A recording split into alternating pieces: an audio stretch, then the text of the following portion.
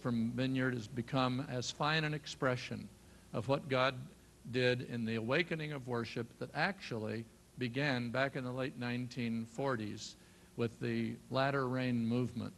But for some reasons that are explainable theologically, culturally, it did not have as broad a spread as it might have. With the charismatic renewal, uh, wherever you want to date it, from the late 50s with Dennis Bennett into the Jesus movement, into the late 60s. At any rate, in that time, there began to come a spread. Through the 70s, the spirit of worship, a very significant instrument, and that was right here in Orange County through the Calvary Chapel Ministries and the Ministry of Maranatha Music. Spinning off of that has come the vineyard and then other aspects of awakening that have stirred worship across the face of the planet.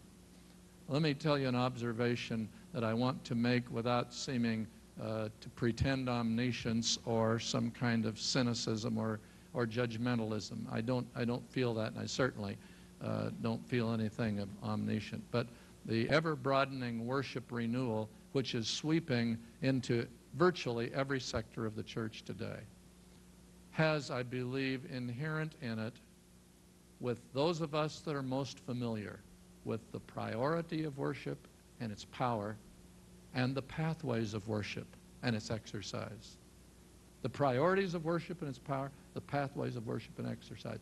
Those of us that are most familiar with it, I think, are most vulnerable to allowing either its confusion through the removal of simplicity or its pollution by a subtle pride that can so easily creep in with the supposition that because we understand it so well, we somehow have an edge on everybody else. Please remember that as far as we can understand from Scripture, the central worship leader around the throne of God originally was named Lucifer. There is something about being approximate to the throne and being involved in worship leadership that somehow can create such a familiarity that there seems to be a need to establish your own special identity. Let me suggest uh, something of how that might take place because I've been observing it increasing, uh, increasingly in places that I've traveled. I want to make very clear it's not anything that I have observed uh, here, and so I, this is not innuendo. I, I'm with the birth of the worship revival. Let me just take one song, one song that is, I think, one of the sweetest, most tender, most heart moving songs. And to me, it defines the spirit of your leader, John Wimber. Jesus, Jesus, come and fill your lambs. Not only is a tender song that says, open up your heart in sweet surrender. The Lord's going to come and wipe away your tears. He's going to heal you. Jesus, come and fill your lambs. Not only is it a tender, moving message that draws people into the presence of God, but listen, please, it's a melody everybody can sing. That's a very important thing. At a tempo that people are able to access.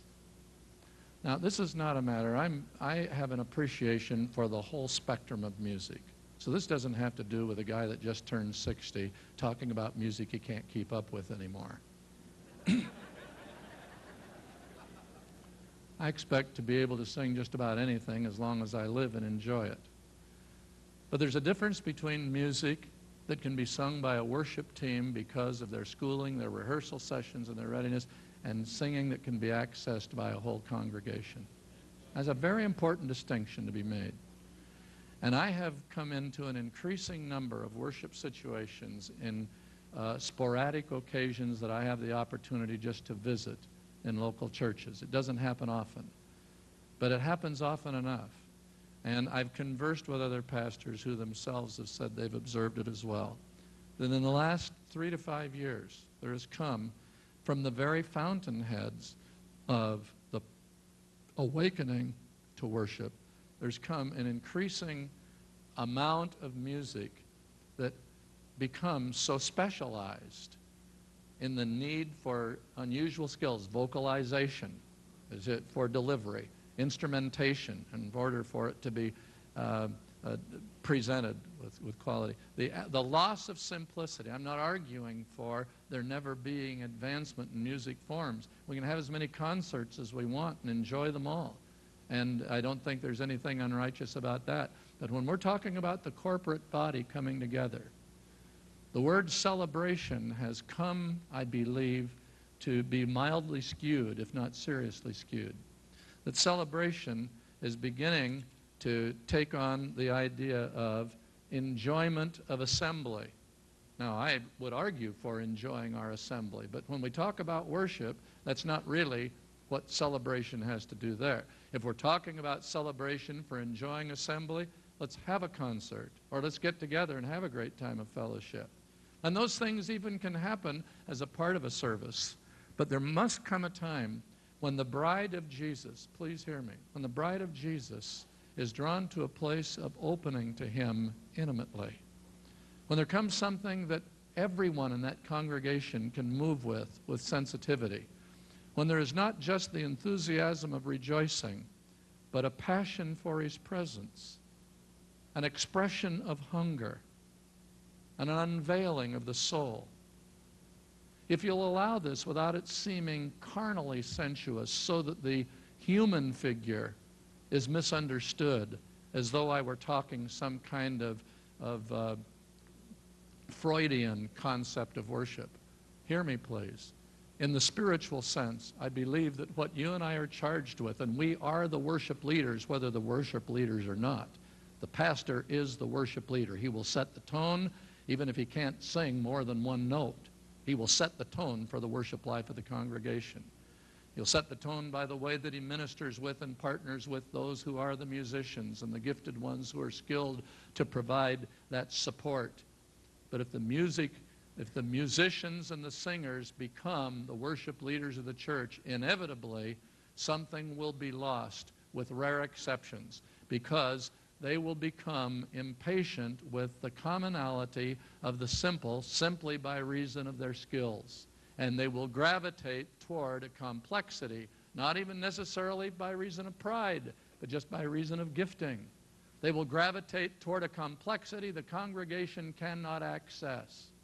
And there will not be what I believe is intended in the spirit of worship, and that's that the bride of Jesus, where you gather, comes before him and begins to unveil herself before him in an openness of the soul and in a dance of worship before him that unveiling prepares the way for her to approach. And again, I want to caution you I am not speaking of this in any carnal sense. I'm sure you would know. But the analogy is dynamic if we're talking about evangelism and the begetting of children into the kingdom, where the bride comes and by her openness and the spirit of worship exposes herself to her Lord and lover, and it allows him an entry point that makes her fruitful and multiplies the power of his life in her.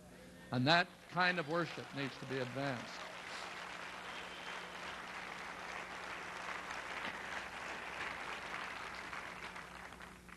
So keep renewed and refreshed, but don't presume. Don't presume because I grasp worship. I can't presume because I grasp the priority or the value or the pathway that it cannot be polluted, distorted, even uh, in, in unintended and innocent ways. Number six,